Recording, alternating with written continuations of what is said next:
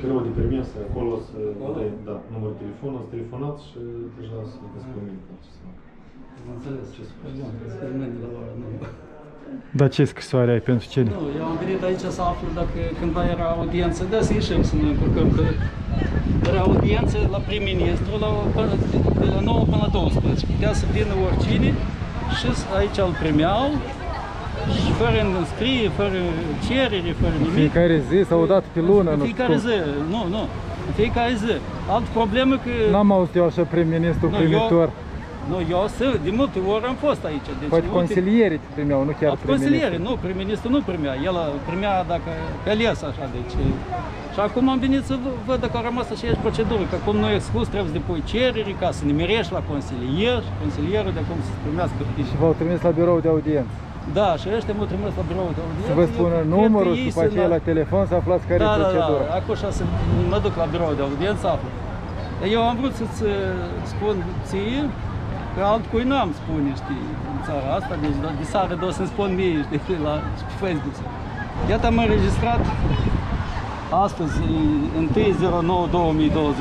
1.09.2021, sub numărul 2029, Consiliul Superior al Procurorilor din Republica Moldova. Copii Ministrului Justiției și Președintele Republicii Moldova. Denunț penal împotriva Procurorului General al Republicii Moldova. Dar de ce la CSP? Dacă e penal, trebuie să Păi- duci, nu știu, la Nu, nu, CNA nu. sau cine? Nu, e competența Consiliului Superior Da? al Magistraturii. Eleu. Este indicat direct în uh, punctul 5, ca să, dacă poate greșesc, dar cred că nu greșesc, punctul 5, articolul 262 din Codul de Procedură Penală. Eleu. Cu toate problemele legate de activitatea Procurorului General, plângerile sunt trimise la Consiliul, trebuie să fie adresate Consiliului Superior al Magistraturii. Trebuie Al procurorilor. al Pro- Consiliului Superior al Procurorilor. Așa e în codul de procedură de când din 2016 i a schimbat legea, Constituția și de atunci a schimbat și codul de procedură penală și Consiliul Superior al Procurorilor trebuie să desemneze un procuror care să cerceteze tot ce am scris eu aici. Eu acum nu vreau să du- spun ce am scris, am scris iată șase, șase pagini Fapte pe care le consideri penale care în le activitatea consider procurorului penale Stoianoglu. Și, pe- și nu numai penale, dar și discipli, cu caracter disciplinar.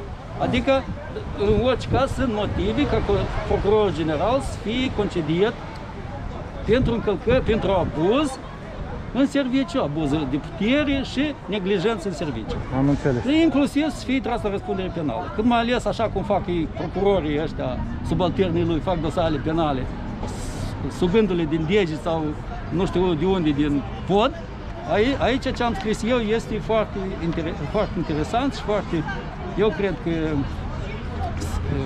Acum urmează ăștia să mă invite, Consiliul Superior al Procurorilor sau procurorul care ei le vor desena, nu știu.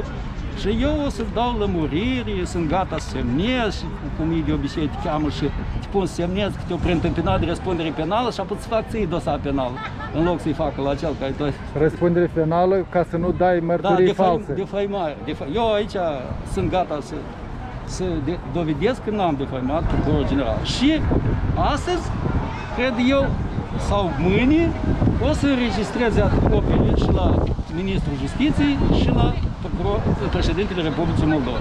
Ca să știe și ei că există bănuieli rezonabile că procurorul general nu-și face treaba. Sau și-o face foarte prost și cu încălcările legii. Dar sper să primești și în audiență prim-ministra. Pre- prim-ministru, eu o să mă adresez cu asta. Problema înțeles. gemeni.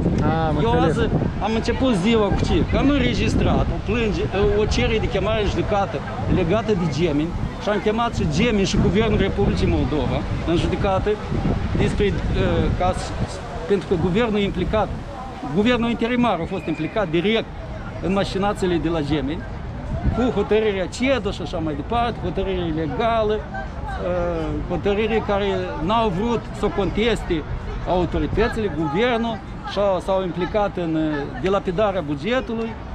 Și mâine, eu- ata, astăzi n-am dovedit, dar mâine eu duc primului ministru să o informez despre cere care, mai înainte, păi lasă să ia măsuri. Mhm.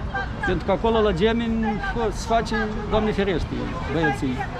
Nu știu care e mai mare și care e mai tare acolo. De... Mhm. Și, și a doilea de ce am făcut, deci am înregistrat la Consiliul Superior al Magistraturii un memoriu pe numele președintelui interimar, că acolo m, am fost la audiență la doamna Cernat, ea spune că e președinte interimar, azi mi s-a spus că e altul. Musteață sau Munteanu, nu am înțeles cine, dar mă rog, am scris pe numele lui Cernat, i-am înregistrat-o, despre faptul că e, Consiliul Superior al Magistraturii de mult trebuia să numească judecător la Curtea Constituțională. Mhm.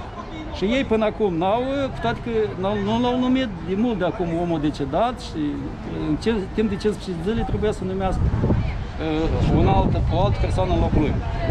Și iată, am fost acum a treia, Tu ești. Pe urmă putem vorbi? Da, da. a treia acțiune am fost și am înregistrat de ne- denunțul ăsta și acum mă duc să le duc și președintelui și Ai început prim-ministru. toamna în forță, a? Păi eu, iată, toată vara m-am pregătit pentru aceste acțiuni. Nu chiar toată vara, iată, acum de sărbători am muncit foarte mult, am, am adunat și o echipă de oameni, suntem gata să facem o conferință de presă de vreo 6-7 persoane. Să, despre injustiție. din, ju- despre injustiție și despre încălcările concrete care au fost admise în anchetarea dosarelor penale. Bun. Iată, procuror, Consiliul Superior i-am anexat și un rechizitoriu, cel aberant care le fac ei cu miile. O să vedem ce o să... Îți do- doresc toate cele bune ție și la a- audio-vizualiștii tăi. Sănătate. Da, mulțumesc. Auzi, Vasilie, o să vedem și eu pe Protestează lumea.